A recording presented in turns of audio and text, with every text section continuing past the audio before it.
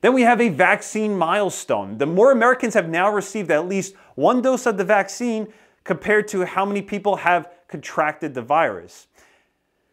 They said that UPS actually delivered 36.5 million doses of the vaccine in the United States. So this is good news for the US. And then on a separate front, we had the World Health Organization officials going into Wuhan, China to investigate where the actual source of the virus was, right? This is a full one year after the virus started, and there was all of these delays and they actually arrived in January, and then the Chinese government held them up for another month after that. So, do you really think there's going to be anything they can find of value in, in China now after a year later when everything has been wiped clean? And I mean, one of the stops they were going to do was the Wuhan Institute of Virology. This is like the level five biolab that they have there. Are they really going to be able to find anything if there was anything at this point? They're also searching animal health facilities in the area. The the markets where food was sold. So that's another thing too. All of this stuff happened with the pandemic and the Chinese never changed the rules on the wet markets where supposedly this virus originated if it wasn't from the lab. So how come this is now the third virus that's come out of these wet markets? You had like the SARS and the other ones before that, avian flu. And why are they not making any changes to that? And why isn't there an international community kind of pushing for that as well? And then they also, the World Health Organization officials wanted to kind of counter claims from China that China said that the virus came from like imported frozen food, frozen beef, or something like that. So they were trying to combat those charges as well. Then you have Canada Goose, the maker of the, you know, the cold gear that's very expensive. They did really well in their quarter and they had strong growth in China. Remember, in Southeast Asia, they had that big cold snap this winter. I talked about how it affected natural gas prices. Revenue was 474 million when estimates were only for 415 million right there. So they did pretty well. Then we have some news from CNBC where they were talking about the average American. The average American has $90,000, $90,460 in debt, and their average net worth is 748,000. But that's when you take an average, and when you have billionaires in that same pool, it kind of skews the numbers. So the Federal Reserve said the median net worth for people between the ages of 35 and 44 is 91,300 and the average net worth is about $436,000. So that gives you a, a, bit of a difference. The average is 436 versus the median of 91,000 net worth. eBay.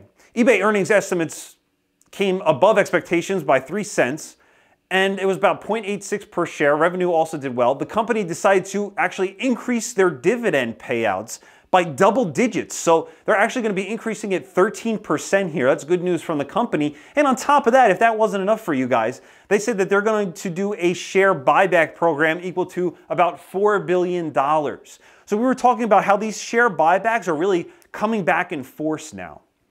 PayPal then, which is also related to eBay and the e-commerce business, they beat earnings estimates by 8 cents a share, bringing in $1.08 per share. Revenue beat as well. So you're beating on both earnings and revenue. A lot of these companies sound really good, right? All of these online businesses are, are making a ton of money during the pandemic here. Everybody's shopping online, just like um, Canada Goose even had, you know, a record in online sales. Next up, we have Qualcomm had a chip shortage and couldn't meet the expectations for the company. Now, this is a bit of an interesting one. Quarterly sales actually rose 62% from a year earlier to $8.4 billion. Net income doubled to 2.46 billion. You would think that if your profit doubled, that would be pretty good, right? They beat estimates on net income. They barely missed on revenue uh, from the, compared to the estimates. But the problem was is that all these phones, you know, from Apple were selling, everybody thought Qualcomm and all these semiconductors, all these chips would be selling. And it turns out there's now a global semiconductor shortage. They're not able to produce enough. And this is being not just Qualcomm, it's occurring worldwide, and they had to cut their forecasts because of this because they just can't produce enough. Ford even came out and said that for their product production of vehicles in 2021, they're going to cut the production by 20% because they can't get enough of these chips that they need for their vehicles. So we talked about before about how the pandemic is affecting supply chains and potential shortages. And this is interesting that we're seeing it in semiconductors of all things, is where we're seeing some shortages right now. Then you have Clorox, which came out. They're doing pretty well still because the pandemic is still occurring. Occurring. They had earnings of $2.03 per share, which was I think it was above estimates by like 25 cents, which is really good. Revenue was also above estimates, so they're still going strong. But more importantly, here from a takeaway perspective, they gave their full year revenue forecast with the expectation that there would be continued elevated sales of all disinfecting products across their product line because of the pandemic. They don't really think this is going to be like vaccines are out and we're done. They think this is going to continue. Merck missed earnings per share by 6 cents, and they came in at $1.32 per share. Revenue was also a little bit below estimates there.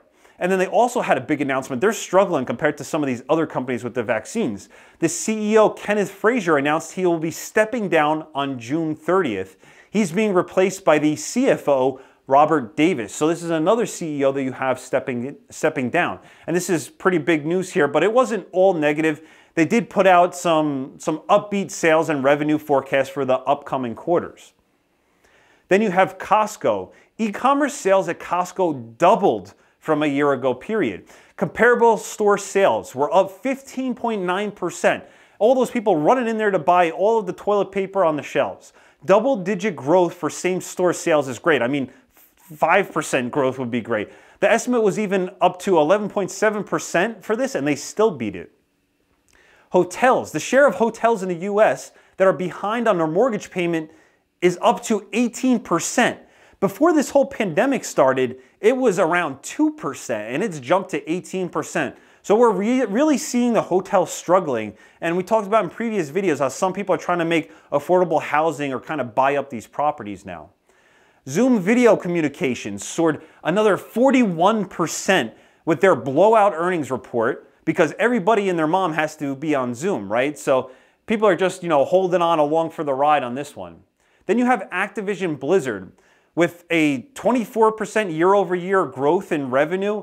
They had earnings per share of $1.21 versus $1.17 expected. Bobby Kotick said that this was like the best year in their 30 year history.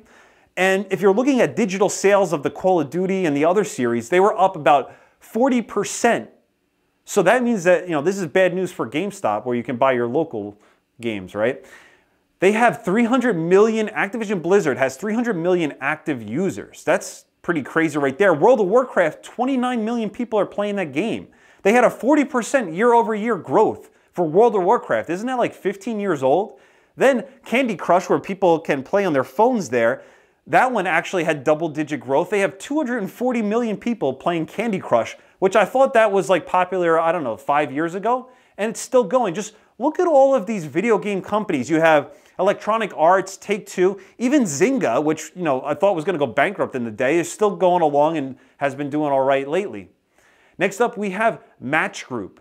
So Match Group is the company, they're known for kind of gobbling up all of these dating apps and making it into their, their own one company. They gave weak guidance, causing a sell-off in the stock but they met their fourth quarter numbers for 2020.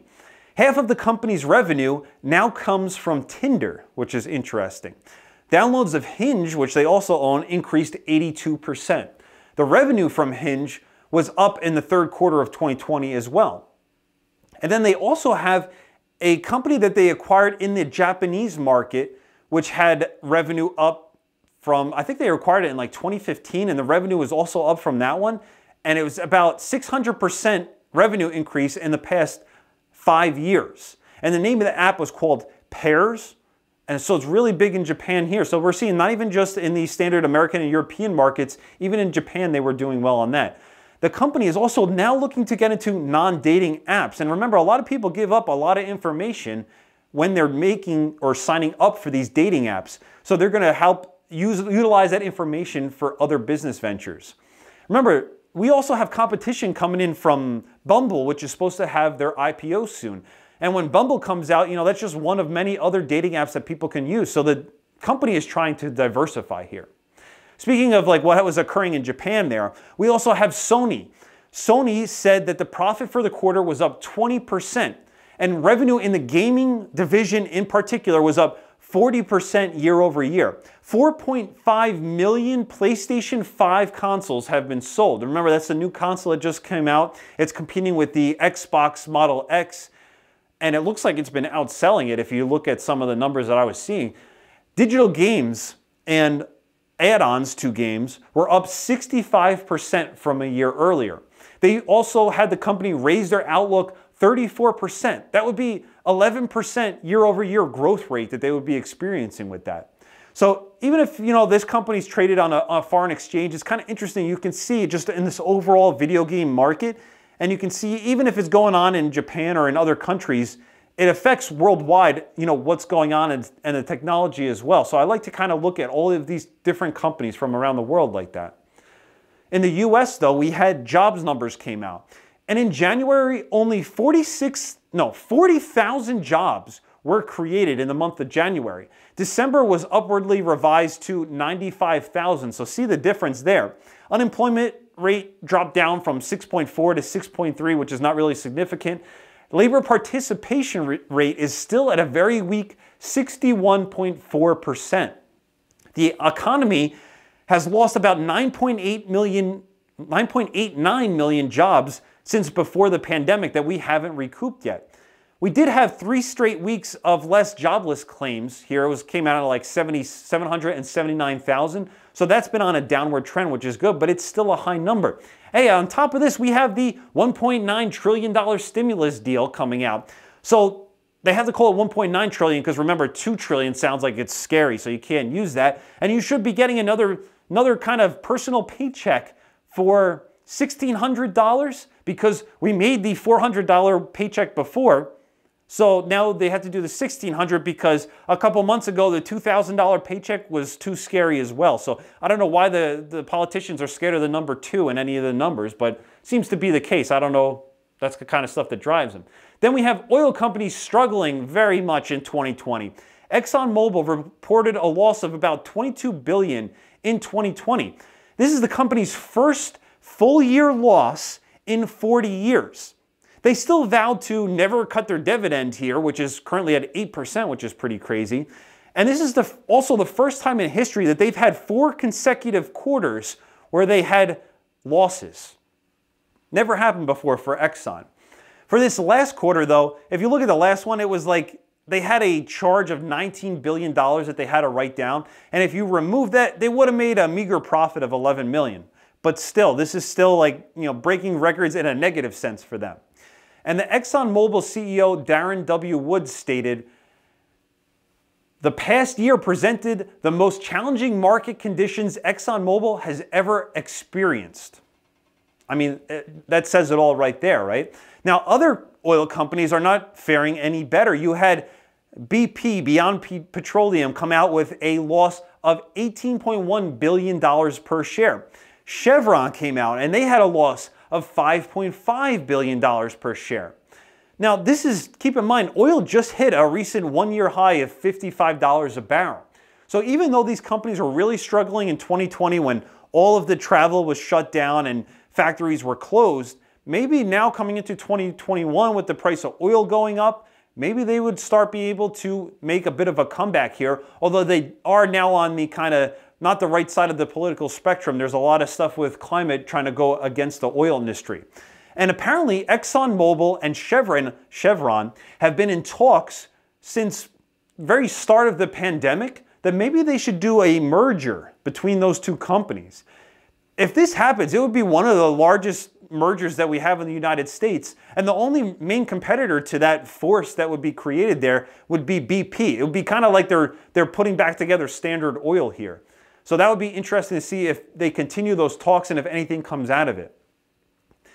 Next up, we have Snap. Snap ended the quarter with 265 million daily active users. They beat expectations of only 257.8 million users.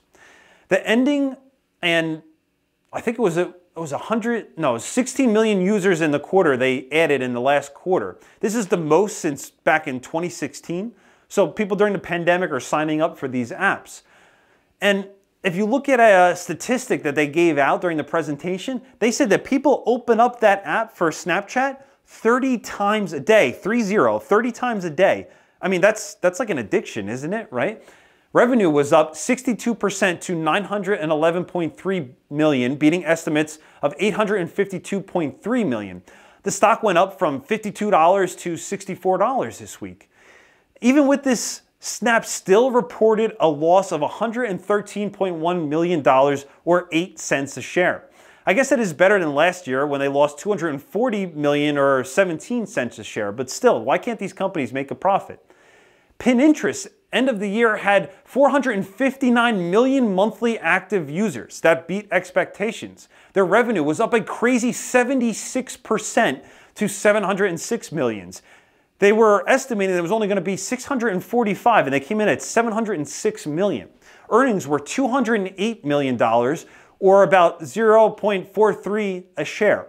One estimate was for I think 34 cents a share, so they beat right there. So Pinterest Pinterest, if I say that properly, is is really doing well here. And I'll, I guess I'll end on that with you see Snapchat and Pinterest and a lot of these apps with Match.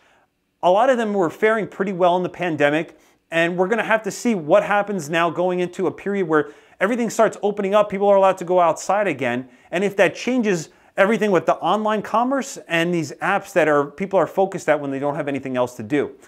This is Andrew with Spark Finance. Thanks for watching. Check out my other videos to keep up to date on business news.